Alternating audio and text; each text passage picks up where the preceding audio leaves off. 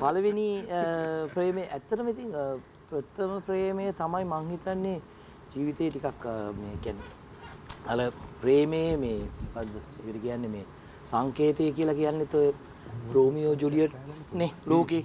එතකොට රෝමියෝ Juliet love කරන කාලෙත් අවුරුදු 17යි 14යි ඒ දෙන්නගේ වයස. මම හිතන්නේ ඒ කාලේ තමයි ඉතින් ජීවිතේ අර ඇත්තටම පියෝ කිසිම කියන්නේ වෙන පරමාර්ථ වලින් තොරව ආදරය කියන එක ඇත්තටම හිතෙන්නේ. ඒ කාලේ ඒ කාලේ දැන් ඊට වඩා හුඟක් වෙනස් වෙලා මේ රට. ඉතින් දැන් ප්‍රථම ප්‍රේමයේම මේ පරමාර්ථ ගොඩක් එක්ක එකතු වෙන හුඟක් අය. ඉතින් ඒ සුන්දර මතකයන් ඉතුරු වෙලා තියෙනවා. ඊට පස්සේ ඉතින් ප්‍රේම විවිධ අවස්ථාවල ජීවිතේ විවිධ අය ප්‍රේම කරනවා.